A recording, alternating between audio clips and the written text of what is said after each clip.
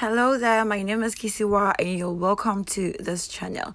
So in today's video, we are going to look at two universities in Canada that waive the IELTS or the English Standardized Test and they also provide some sort of guaranteed funding for international students at the bachelor's, master's and then the PhD level.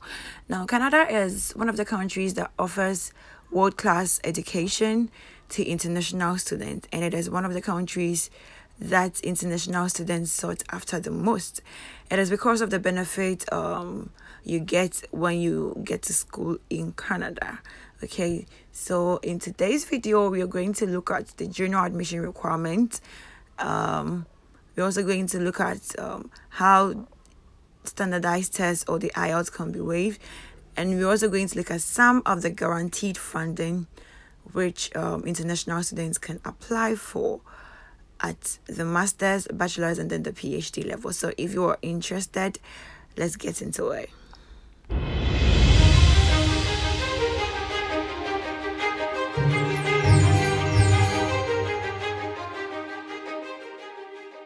Okay guys, so the first university we're looking at is the University of Saskatchewan and it is known to be one of the most beautiful universities in Canada, okay? So this is the school's website and they are the game changers. So this is a beautiful website of the University of Saskatchewan. Now let's look at some of the undergrad programs that this university offers now. Um, they have bachelor's, diploma, certificate, and then non-direct entry programs. And some of the programs that they offer are Aboriginal Business Administration, Agribusiness, Animal bioscience, biology, chemistry, civil engineering, drama, education, English, through to theater. Okay, so these are the programs that they offer. So you explore and then you select the program of interest to you. So next we're going to look at the English language proficiency. So now here we're going to look at um, the pathway for you to be admitted if you don't meet the English language proficiency or how you can avoid writing standardized tests for you to get admission into this university.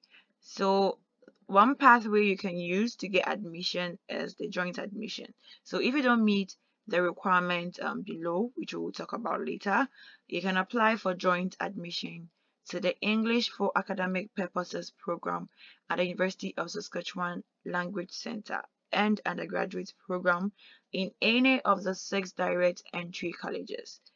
And the colleges are agriculture and bioresources, arts and science, engineering, education, Edwards School of Business, or kinesiology. Okay, so that is one of the pathway you can use to get admission into this university if you don't meet the English language proficiency um, requirement. Um, if you've been asked to provide um, proof of English proficiency, you need to show that you meet one of the following standards. Either you completed high school or secondary school studies in English, either you completed post-secondary studies in English, or um, completed any of the standardized tests, or completion of an approved English language proficiency program, either in the University of Saskatchewan or in the University of Regina. And lastly, if you completed one of the following qualifications, so these are the qualifications here. Now let's look at the scholarships and the bursaries for the undergraduate um, student who is entering into this university, okay? So they have quite a number of scholarship available to international students at the bachelor's level okay? And the first is the guarantee entrance scholarship. Now um you will automatically be considered for a guaranteed entrance scholarship when you apply for admission.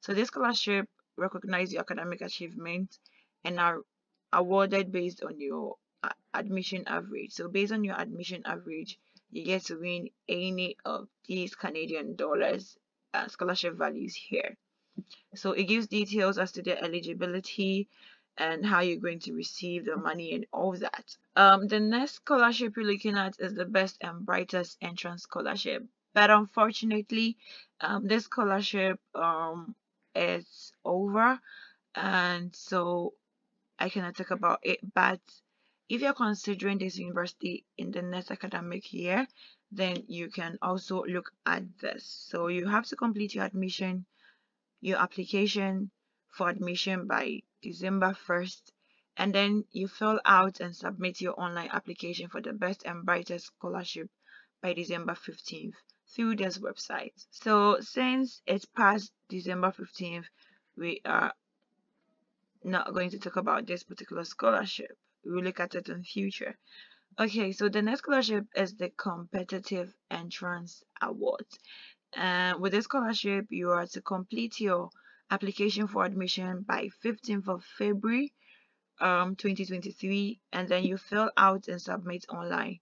Application for competitive entrance awards by March 1st okay? Also all the details and the steps you need in applying to this university to this scholarship is provided here the next is the international student award and they have quite a number of International Students Award. Now, the previous award I mentioned is for both the domestic students and then international students, but the International Students um, Award is specifically for international students. Okay, so they have um, the University of Saskatchewan International Excellence Award, and the value is 10,000 Canadian dollars. So international students will be considered automatically for these awards which are based on academic achievement upon admission.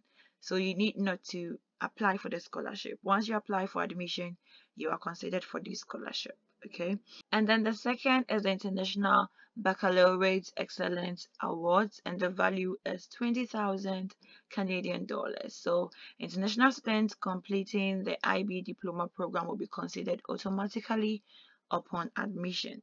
Also, there is um the Saskatchewan Region scholarship awards and the value is 1500 now this is for students applying for the joint admission which which we have already talked about so if you use this pathway then you can also be considered automatically for the scholarship if you meet the requirement next is the canadian curriculum schools awards and the value of the scholarship or award is 15,000 Canadian dollars for international students graduating from international Canadian curriculum schools.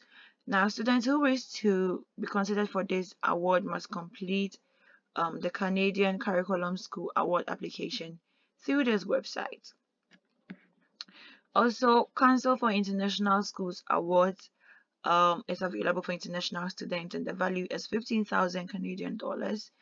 For international students entering undergraduate degree program at the University of Saskatchewan who graduated from a CIS member school. So students who um, wish to be considered for this award must complete a Council of International School Awards application in this website.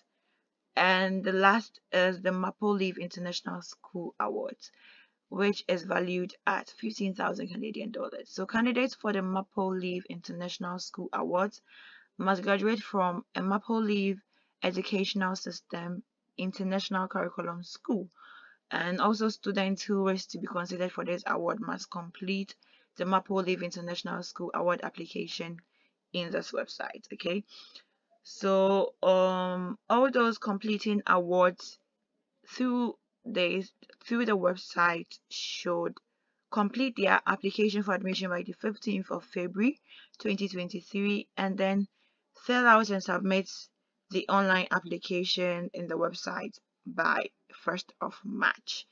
There is also um award for transfer students and these are the values 2000 Canadian dollars 1500 Canadian dollars and 1000 Canadian dollars depending on your average. This university is by far the university with the most um, scholarship and awards for international students at the bachelor's level I have come across. Okay, if you're a continuing student at the graduate or undergrad level, there are also um, bursaries available for you, and there are departmental awards and scholarship as well for you. So, what you do is you enter your department here, or you enter your program, and then the college and then it's going to pop up all the awards available in your department for you to apply to okay? So that is all about that for the graduate level. Now so now let's move on to the graduate level. Okay so um we're going to we are going to look at some of the programs offered by the university of saskatchewan at the graduate level being it masters and then phd okay so they offer accounting anthropology archaeology biostatistics business administration through to writing okay? Okay so we're going to so we're also going to look at the scholarship and awards um, offered by the university at the graduate level to international students okay and the major university scholarship is the dean scholarship and the value of this is 18,000 Canadian dollars per year for two years. Now, department and supervisors is required to fund the second year at the same level of support. Okay, and for doctoral, it is 22,000 Canadian dollars per year. So you get to know more about this scholarship and their deadlines through here. So they've stated the eligibility um, requirement for the Dean's Scholarship Award if you are interested. Also, they have graduate awards and and one of the graduate award is the University of Saskatchewan Graduate Scholarship. Now, this scholarship is open to students in selected departments only, so it is not all departments that um, this in this particular scholarship goes for. So if your department is selected, then at the master's level, you'll be receiving 16,000 Canadian dollars per year for up to two years. And at the master's level, you're going to receive 20,000 Canadian dollars per year for up to three years. So you get to know more about this particular university through this site or this link here. They have the University of Saskatchewan Graduate Teaching Fellowships. So um, this is available in most departments and students must be full-time fully qualified graduates who meet the academic requirements okay and the value for this um, scholarship is 16,000 Canadian dollars over 12 months less mandatory employment deduction so this um, scholarship is more or less like an employment the school is given to you they also offer graduate teaching assistantship positions. And if you want to know more about that, you also go to the links down here. And next is the graduate research assistantship um, positions, which is also available if you want to know more about it. They have the links down here. Then they also have the departmental scholarship and just like the undergrad departmental scholarship so is this. Also, they have country-specific um, funding through partnership agreement with some countries. So these are the countries: Brazil, Chile, China, Colombia, Mexico, um, Panama, Paraguay, Peru, Uruguay, and then Egypt. Okay, so these are the um, country-specific funding through partnership agreements with these countries. And they also have bursaries for international students. So the next university we're looking at is the University of Alberta. And they have a very simple website here.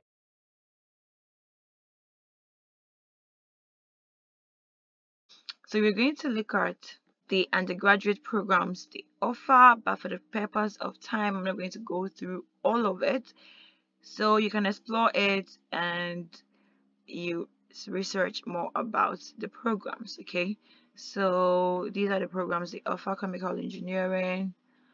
Quite they have detailed information about all the programs they offer. Now we're going to look at the English language um, proficiency exemptions. Okay, so um, with this particular university, they have two ways of exempting, either through country or through universities. So they have countries that um, satisfy the English language proficiency. And so if you're from any of these countries, then you need not to write. And some of these countries at the bachelor's level is Australia, Anguilla, Bahamas, Barbados, Belize, Dominica, Gambia, Wales, Zambia, Zimbabwe. Okay, it's more than that. So you scroll through and then you identify your country. However, if you don't find your country in this list of countries, then you scroll down and then you look at the universities that satisfy the English language proficiency. And we have countries like Bangladesh. There are some universities in Bangladesh that meet the English language proficiency for the undergrad level. And so if you're from Bangladesh, you go through the universities and then if your university is part of the listed, then you need not to write any tests. Also, Bulgaria, same. Cameroon, there are universities there. Egypt, there are also universities there. Um, Ethiopia, there are universities. Germany, there are universities. India, there are a lot of universities that meet uh, University of Alberta's English standardized test. Also in Kuwait, Lebanon, Lesotho, Pakistan, Philippines, Turkey. Okay, so we're going to look at the General International Undergraduate Scholarships. The first one is the admission-based scholarship and there is no application required okay so once you submit your application for admission you are also being considered for this scholarship um, if you're eligible for the admission based scholarship you will be contacted directly through an email and then be informed that you have received the scholarship. So then we have the application based scholarship which you have to apply early. You have to apply to this scholarship before or by 11th of January 2023 and they've given us some tips as to how you can apply to this scholarship. Now this scholarship um, after you have applied for your admission you then you apply to this particular scholarship which is the application based scholarship okay? It's also the president international Dis distinction scholarship. So students with superior admission average and demonstrated um, leadership qualities entering their first year of undergraduate degree. On a student visa permit could receive up to 120,000 Canadian dollars payable over four years okay? And then there is also international leader scholarship um, well-rounded leaders with superior academics may receive up to 10,000 Canadian dollars. And there is also the Macon undergraduate scholarship where um, students with superior admission average and self-declared financial need entering their first year of an undergraduate degree on a student visa permit who are Chinese or Hong Kong citizens could receive up to 100,000 Canadian dollars um, payable over four years. There is also the scholarship for IB Diploma International students. There is also scholarship for transfer students with this particular university and you get to know more through this um, link here as well now i'm trying not to make this video lengthy and that is the reason why i haven't opened to most of the scholarship um, processes okay so you can do me the favor by going through the scholarship which um, you prefer and then you read more about it. If you have any question whatsoever, you can contact the admission coordinator or admission director of the university or your programs coordinator if it is a departmental scholarship and they will be glad to assist you. We're going to look at some of the graduate programs offered by the University of Alberta. Okay, so University of Alberta offers quite a number of um, graduate programs ranging from occupational therapy, computing, community engagement, music, nursing, psychology, uh, renewable resources, philosophy, a whole lot. And so you can explore through their programs. So with their recognized English language countries and institutions, just like for the undergraduate level, they have countries in which English is the official language of instruction. And so these countries need not to provide um, standardized tests. And these are the countries okay? So some of the countries are Australia Barbados Belize Bermuda Canada um, Jamaica Malta Nigeria South Africa St. Lucia Scotland USA and Wales okay? Among the ones listed here. Okay. Then the universities which they consider to meet their English language requirements in accordance with their policies are also here at the undergraduate level. So Bangladesh, they have quite a number of universities here. Botswana, they have the University of Botswana. Bulgaria, they have American University in Bulgaria. Then Eritrea, they have University of Asmara. Asmara. Ethiopia, they have universities. In Ghana, they have Kwame Nkrumah University of Science and Technology, University of Cape Coast, and University of Ghana to be the only three universities they recognize as meeting their English requirements policy. Okay, Hong Kong, they also have quite a number of universities. India, they have a whole lot of universities.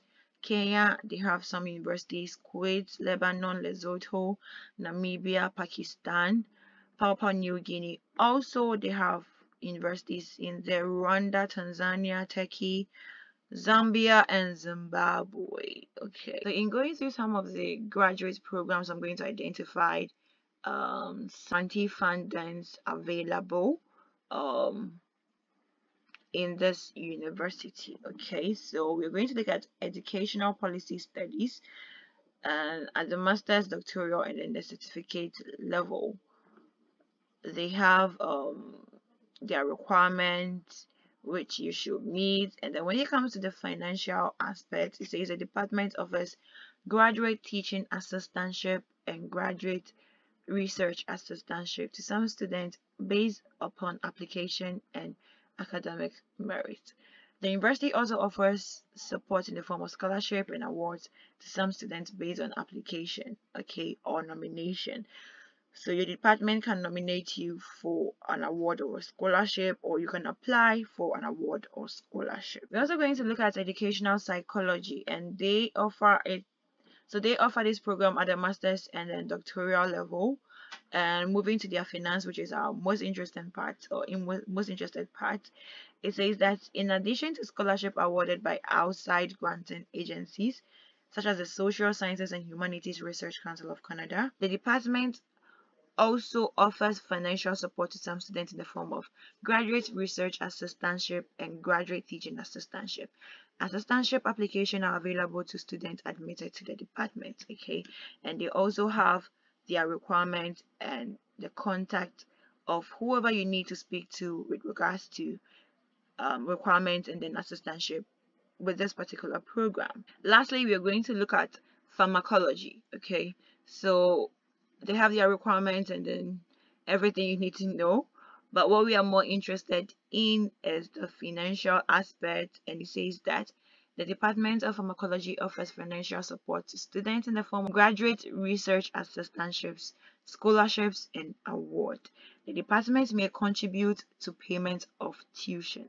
So from all the graduate programs we have looked at from this university, you could tell clearly that the graduate um, school offers research assistant and then teaching assistant positions to international students. They also have scholarship and um, awards for funding um, your studies in this university so you should not look any further if you're thinking of your education in Canada. All the links to the various sites I opened will be in the description box. Let me know if you have any question regarding this video and I will attend to you. If you haven't subscribed to this video, please do me the honor by clicking on the subscribe button, click on the notification bell, and then like this video to recommend it to others. See you my next video. It's a bye for now.